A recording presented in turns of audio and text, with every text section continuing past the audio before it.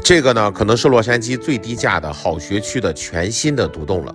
今天呢，咱们来到了奇诺市，我是在洛杉矶做房产的 Chris 刘，咱们来看一下这个三房两层的六十万出头的独栋是什么样的。视频里看到的呢，是这个楼盘的最小的户型，一千四百七十尺，三房两点五个卫生间，两车位的标准车库，并且呢带这样的一个小院子。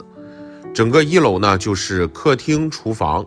还有车库，而这个楼盘的最大户型呢是一千八百尺四房的，但是呢同样也是不到七十万。OK，这个是一楼的这个储物间。现在呢咱们穿过厨房，穿过客厅，咱们上二楼看一下。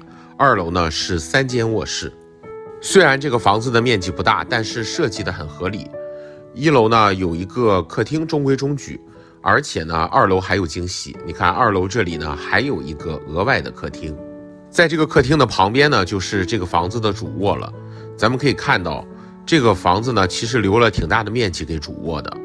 而且呢，在主卧的这个入口处一进门，这是一个面积不小的衣橱。而这间主卧呢是配有独立的卫生间，这个卫生间做的也是非常的让人惊喜的，双水盆长的这种台面。还有站立式的洗浴，主卧的采光呢同样很好，两个大面积的窗户，而且呢，咱们看楼梯上面这一排都是小窗户。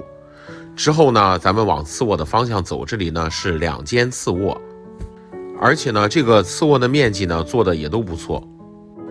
当然了，这两间次卧呢就是共用一个卫生间，这个卫生间呢就在两个次卧的门外，咱们看就是这里。但是呢，这个房子呢是为了节省空间嘛，所以它的洗衣房呢就放在了卫生间旁边，是这种上下的洗衣机、烘干机的配置。这里呢是一个大社区，有泳池、会所、学校。更多的问题呢可以看我的朋友圈或者单独来问我。感谢您的观看和关注，咱们下次接着聊。